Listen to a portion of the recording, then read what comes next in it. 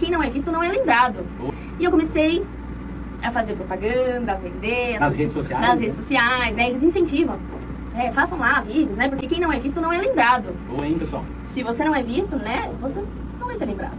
Então eu comecei a fazer todo dia, tá, tá, tá, tá, tá, e começou a ficar bom o negócio. E aí eu comecei a fazer as minhas produções e uma pessoa me pediu, Jéssica, você não faz pra mim? Quanto você cobra?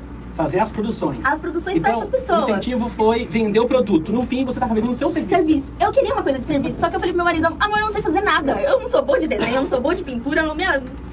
Não dá jeito. Aí meu marido falou, então vende uma coisa, né? Aí eu vendi. Aí eu comecei a vender o Dora, só que eu descobri que eu tinha um serviço bom, que era a produção visual. E aí eu comecei a fazer pros amigos e tudo mais. E aí começaram a me pedir foto.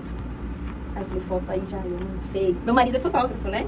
Então eu fiquei naquela, meu Deus, né? Aí eu falei, vou pedir umas Dicas. dicas. Aí ele começou a me dar umas aulinhas ali aqui. E aí hoje eu faço a parte de, de fotos. Então eu faço toda essa parte de produção audiovisual. Como é que pode te encontrar na- no Instagram, no Facebook, no Então, YouTube? o meu Instagram, é, como influencer, né? Eu também faço essa parte de quem quer que eu esteja, né, na, na produção visual, tudo bem.